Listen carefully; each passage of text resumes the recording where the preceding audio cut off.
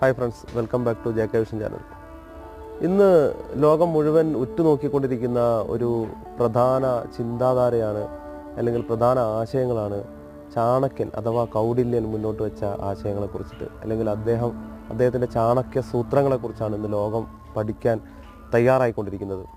അതിനൊരു പ്രത്യേക കാരണമുണ്ട്. ലോകം മുഴുവൻ ഇദ്ദേഹത്തെ ഈ രീതിയിൽ ആരാധിക്കപ്പെടാൻ അല്ലെങ്കിൽ ലോകം മുഴുവൻ ലോകത്തിന്റെ മുഴുവൻ ശ്രദ്ധ ഇദ്ദേഹത്തിലേക്ക് വരാനൊരു കാരണം വെച്ചാൽ അദ്ദേഹത്തിന്റെ അസാമാന്യമായ ബുദ്ധിശക്തിയും ബുദ്ധിപാഠവും കഴിവും തന്നെയാണ്.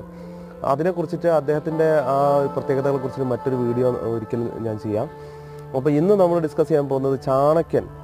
ചാണക്യൻ സമ്പത്തും ബുദ്ധിയും തമ്മിലുള്ള ബന്ധത്തെക്കുറിച്ച് എന്താണ് പറഞ്ഞിരിക്കുന്നതെന്നാണ് സമ്പത്തിനെ കുറിച്ചിട്ട് ബുദ്ധിയെക്കുറിച്ചിട്ട് ഇത് തമ്മിലുള്ള ബന്ധത്തെക്കുറിച്ചിട്ട് ഇന്ന് ലോകം മുഴുവൻ തെരഞ്ഞുകൊണ്ടിരിക്കുന്ന ഒരു കാലഘട്ടമാണ്. കാരണം സമ്പത്ത് എങ്ങനെ ആർജിക്കാമെന്നാണ് പലരും ചിന്തിക്കുന്നത്. അതേപോലെ ബുദ്ധിശക്തിയെ കുറിച്ചിട്ടും ജനങ്ങൾ മൊത്തം ചിന്തിക്കുന്നു. അപ്പം ചാണക്യൻ ഈ ഒരു വിഷയത്തെ പറഞ്ഞിരിക്കുന്നത് യഥാബുദ്ധി യഥാ ബുദ്ധി തതോ വിഭവ എന്നാണ് പറഞ്ഞിരിക്കുന്നത്. എങ്ങനെയാണോ ബുദ്ധി അതേപോലെയാണ് വിഭവം അതായത് സമ്പത്ത് എന്നിരിക്കുന്നത് ബുദ്ധി പോലെയാണ് ഒരാളുടെ ഒരു വ്യക്തിയുടെ സമ്പത്ത് എന്നാണ് പറഞ്ഞിരിക്കുന്നത്.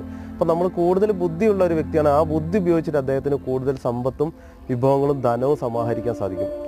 അത് ഇന്നത്തെ കാലത്തും തീർച്ചയായിട്ടും പ്രസക്തം തന്നെയല്ലേ? നമ്മൾ ചിന്തിച്ച് നോക്കൂ.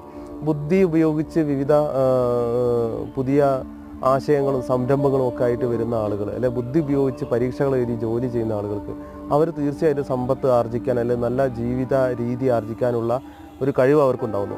അതേസമയം ബുദ്ധി ഇല്ലാത്തവർ മറ്റുള്ള ആളുകളുടെ കൂടെ അല്ലെങ്കിൽ അവരുടെ കീഴിൽ ജോലി ചെയ്തിട്ട് ജീവിതം കഷ്ടപ്പാടോട് കൂടി മുന്നോട്ട് നീങ്ങുന്നൊരവസ്ഥയാണ്. അപ്പോൾ ചാണക്യൻ പറഞ്ഞ ആ ഒരു വാക്ക് യഥാ ബുദ്ധി വിഭവ എന്ന് പറഞ്ഞ ഒരു പോയിന്റ് നമ്മൾ ഓർക്കണം.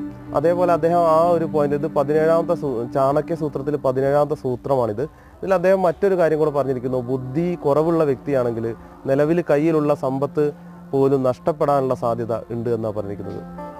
അപ്പം നമ്മൾ ഓർക്കുക ആ, സമ്പത്തിന്റെ ഒരു പ്രധാന ഘടകം ബുദ്ധിയിലാണ്. ബുദ്ധി ഉപയോഗിച്ച് പുതിയ പുതിയ പ്രവർത്തനങ്ങൾ ആസൂത്രണം ചെയ്യുകയും പുതിയ പുതിയ പുതിയ കാര്യങ്ങൾ പ്ലാൻ ചെയ്തിട്ട് അത് പ്രാവർത്തികമാക്കുകയും ചെയ്താൽ തീർച്ചയായിട്ടും സമ്പന്നരാവാൻ സാധിക്കും. എല്ലാവരും ജോലിക്കാരായിക്കൊള്ളണമെന്നില്ല. അതേസമയം എല്ലാവർക്കും ബിസിനസ് ചെയ്യാൻ സാധിച്ചോളണമെന്നില്ല. അതേസമയം നിങ്ങൾ ജോലിയോ അല്ലെങ്കിൽ സർക്കാർ ഉദ്യോഗമോ അങ്ങനെയൊക്കെയാണ് നിങ്ങൾ ആഗ്രഹിക്കുന്നത്. നിങ്ങൾ തീർച്ചയായും ബുദ്ധി ഉപയോഗിച്ച് നിങ്ങൾ പുതിയ കാര്യങ്ങൾ പഠിക്കുക.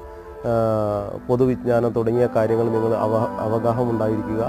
അങ്ങനെ പഠനത്തിലൂടെ തന്നെ നിങ്ങൾക്ക് പുതിയ ഒരു കരിയർ ഉണ്ടാക്കിയെടുക്കാൻ സാധിക്കും. ആ കാര്യത്തിൽ സംശയമില്ല.